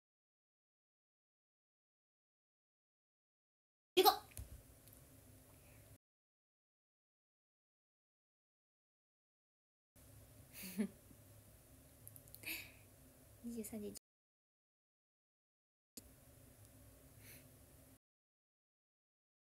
カ様にも知らせない。リリカ様寝る時間だからダメ。高校生のお子ちゃまは寝なきゃダメ。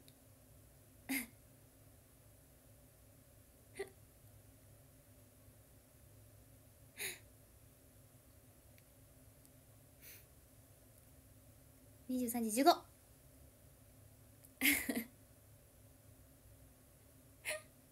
刻んだね。そうね。あのそうだね。メール送る時間がねあるからね。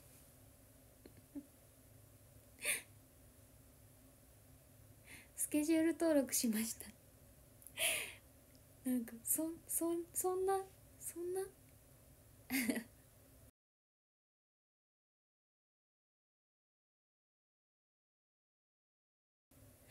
23時15までやるんですか？そんなわけなかろう。逆23時15分から。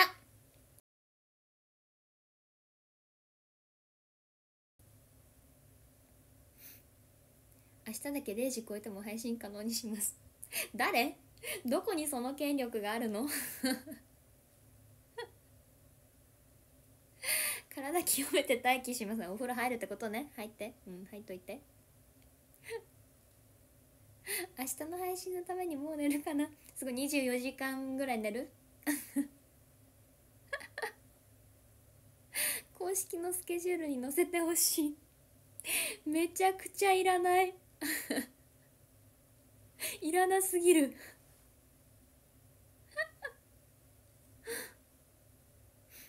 会社のスケジュールにも書き込んでおく。めっちゃ迷惑。誰？ってなるからそれ。配信しましません。どういうこと？拡散用にハッシュタグ決めとく？いや決めなくていいよ。大丈夫大丈夫。そんな大大したものじゃないので。そんななんか重大発表みたいなノリのやつじゃないんで。ひっそりひっそりやらしてください。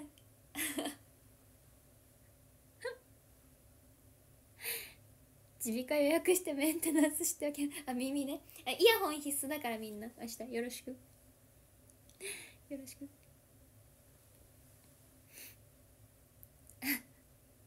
明日 NGT 公式ルームから。嫌だよ。そんな全員に通知いっちゃ1万人とかわかんない。NGT の公式ルームって何フォロワーいるの？1万人とかじゃないじゃんもうきっと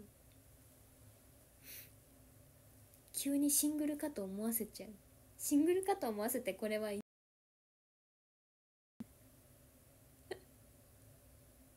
がっかりさせちゃうのでダメです。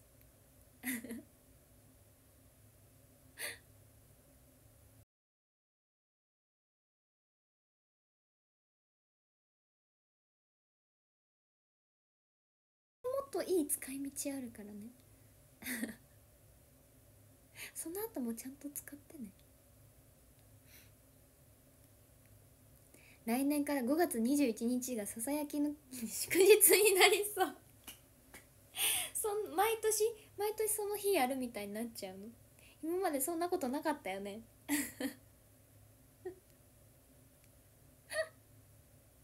確かに。私が NGT の公式ルームでやり始めたら本当に何かと思うよね。立場が立場なゆえにね。シングルよりレアじゃない？残念ながらシングルの方がレアになってしまう。今年中に出したい。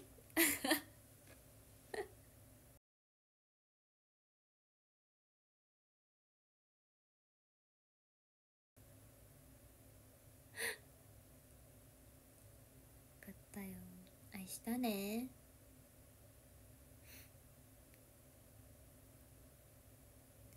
うやってイヤホン買わせてオフラインに誘導する。じゃあいや違うよ。それ関係ないよ。オフラインだったらなおさらだよ。オンラインかな。オンラインは別にイヤホンつけてもつけなくてもどっちでもいいけど。でも確かにつけてた方がいいのかも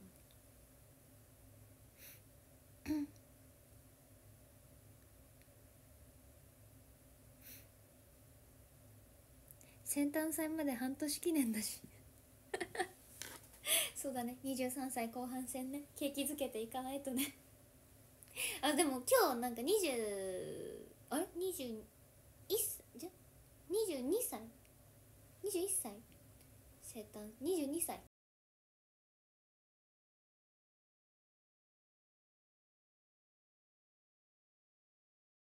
だろ早いのかな？あっという間なのかな？そうらしいです。でもなんかめっちゃ前に感じちゃうかも。1年以上前のことに感じるかも結構。なんかさもう一回生誕されたからさ半年後に。それがだって本当のね23歳の誕生日だったから。そう22歳の生誕祭はさそうそう半年後誕生日から半年後にやったから。そう。だからなんか変な感覚だから1年前って感じじゃないかもあんまり。もっと前にやった感覚だった。そう。だわ。生誕前に昼夜の合間になんかガッタファンの特別配信思い出しました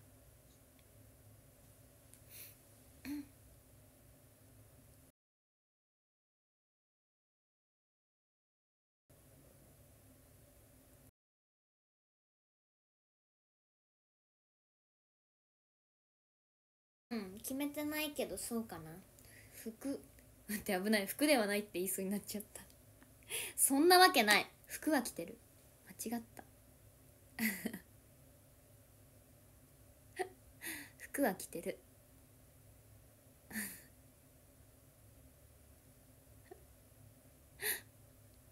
服は着てるけど、ね、こういう服ではないかもしれない。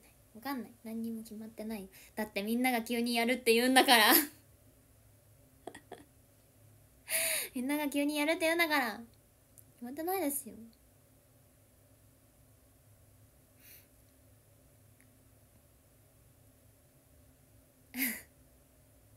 声出し解禁生誕が。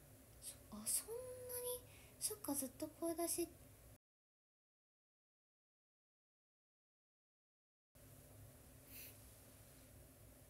そうだったね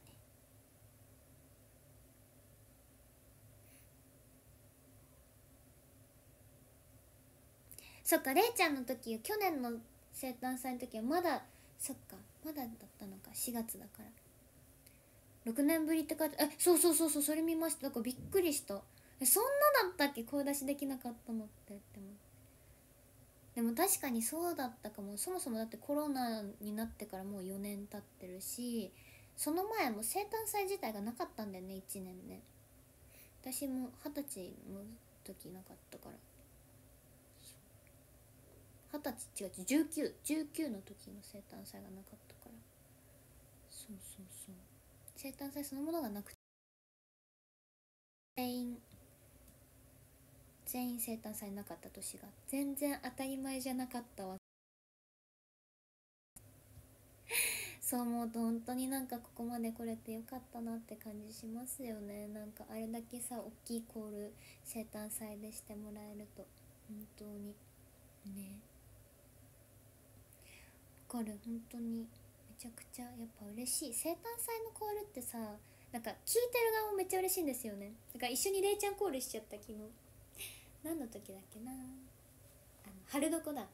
風が止んでしまった日はレイちゃんがめっちゃ大きくて私後ろだったんですけど。レイちゃんなんかその時棒立ちしてんの？私の振り付け。棒立ちが「レイちゃん!」って後ろでずっと言ってた。そう一緒にコールしてた。いやそうなんだよ。そう思うとね嬉しいよね。今コールできてるのって。とっても。だしなんかあとコールコールするじゃないですか。生誕祭の時。もうなんかさ普段ファンの方もやっぱそこの瞬間ってめちゃくちゃ大きいコールするからそう。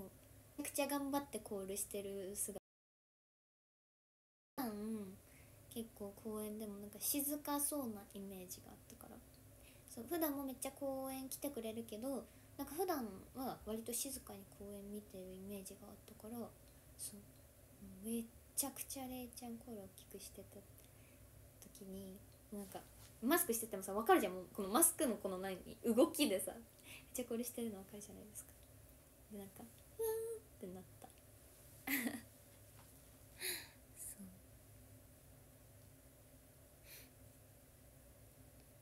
そう思うとだからね今こうやってコールできてるのってすごいことだしまあ普段の公演からもめちゃくちゃ皆さんコール大きいんですけどやっぱ生誕祭って本当に特別だからさその子のめちゃくちゃ楽しいからさそう。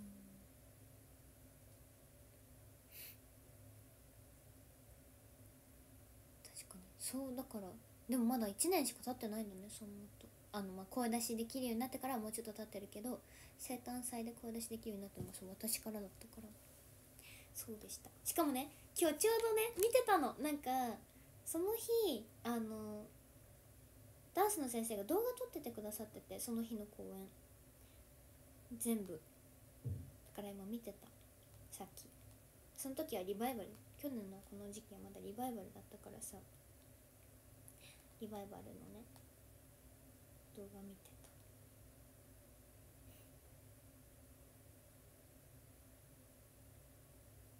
めちゃくちゃコールがでかいやつ。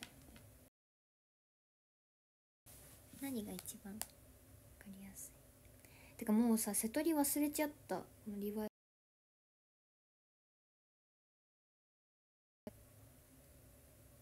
あこの辺じゃない？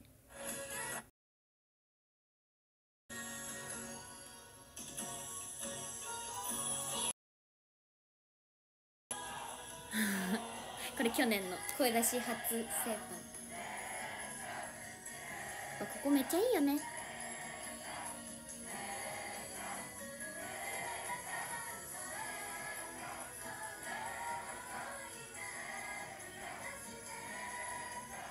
わかる大きいよね。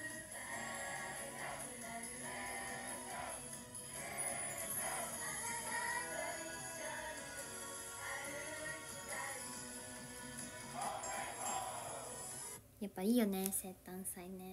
楽しみ。でも本当に私は昨日もれいちゃんと一昨日のみだけでさやってるからさ。えでもわかんない。私がさ生誕やる頃は季節ブロックってどうなってんの？何の曲やんの？もうしゃべぴではない絶対に。だからその頃そのブロック何やってるかはちょっと謎だけど。でも本当に NGT の曲だけでさやってるからさ。そうだから早く思い出いっぱいで生誕やりたいってあと半年なんですけど。やりたいってめっちゃ思いました。冬曲が結構狭間だよね。でも誕生日当日にやりたいって思ってるから。って思うと結構意外とまだ秋曲。わかる？秋曲って何？私も思ってた。そもそも秋曲ってなんだ？どうしようこれで暗闇求むとかだったら。あそう君ど君どこだったらどうしよう。まさかの。君どこねなんかしてやってたからね。11月え確かにやりそうアンクレット。えめっちゃありそうじゃん。いつでもできるよもう。もう今年に入って2回やったからね。いつでもできる。確かに。アンクレットと君どこめっちゃその説ありそう。そうだね。だから何やってるか分かんないけど。でもそう。早くやりたい。早くやりたいって言ったって誕生日は半年後にしか来ないんだけど。早く思い出いっぱいでやりたい。だからあの何としてでも思い出いっぱい公演1年はやりましょうって。12月せめて12月までやりましょう。どうしよう。自分の生誕前に思い出いっぱい公演じゃなくなっててめちゃくちゃやりたい。まあリバでもリバイバル22歳の生誕がこう半年押したからリバイバルで2回できて。それもそれでねめっちゃやっぱリバイバルは誇りの丘だったから。それはとっても私も劇場デビューの声なんで思い入れはあるから。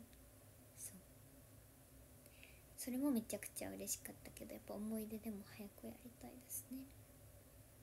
はじめましてありがとうございます。ありがとう。季節が一周するまではやる。確かに。せっかく季節ブロックあるからね。ってなるとまあ11月いっぱいはやってほしいな。やりたいなって感じですね。確かに。どんせめて全季節は聞きたいよね。でもさ思ったもうさ5月に入ったからさもうもうだって5月末の公演まで発表されてるじゃないですか。6月6月って春曲？ってちょっと疑問に思っちゃったんだよね最近。まあ5月いっぱいはまだ5月はまあまあまあ春。うん春。6月って言われてもなんかだから急にあんま春っぽくなくなっちゃうよね。だから6月からどうなるんだろうってちょっと思ってるけど。でもそんなこと言ったら3月に冬曲とかやってたから わかんないけど。でももうだから春やっぱ短いからさもう変わってもいいよいって思っちゃうぐらいだけどね。そう4月頭も冬だったからそうだから6月も春ですって言われたらうん春だね。ってなっちゃうけどそうでもそろそろ変わってもいいぐらいの時期にはなってきてますよね。雨の曲って何？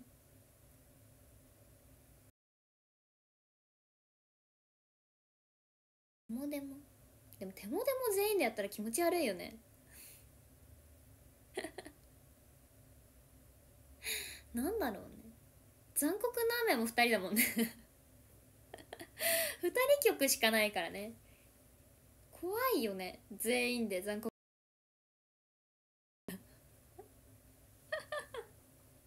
どうなるんだろう。なんかこの時期の曲って分かんないよね。なんかギリ雨の動物園はまだね。まあ人数増えても対応できそう。アメピム？3人だね。いやユニット曲は結構あんだそう思うと。アフターレイン。おお確かに。確かに確かに。めっちゃ好きアフターレイン。大卒業公演でやった気がする。大好き。アフターレインめちゃくちゃいい曲。確かに。どうなるんだろう。でもいいね。できた。やばいやばいやばい。あと4分しかないじゃん。結局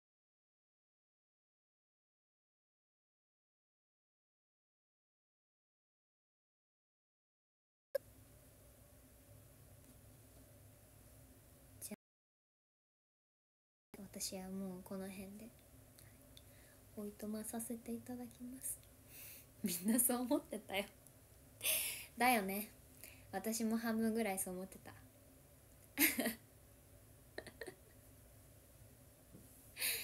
じゃあ一旦ランキングを読みます。13位トッシーさんありがとうございます。12位ビールバラさんありがとうございます。11アルニストさんありがとうございます。10位あやめさんありがとうございます。9位ヒーローさんありがとうございます。8位トシさんありがとう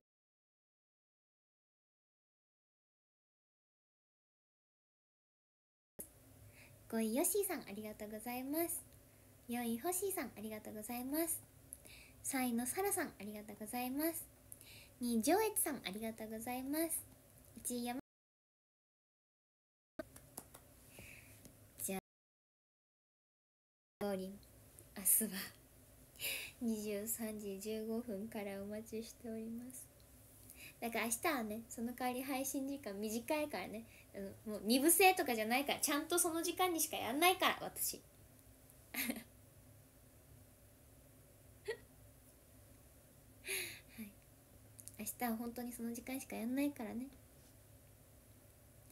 明日はじゃあ23時15分に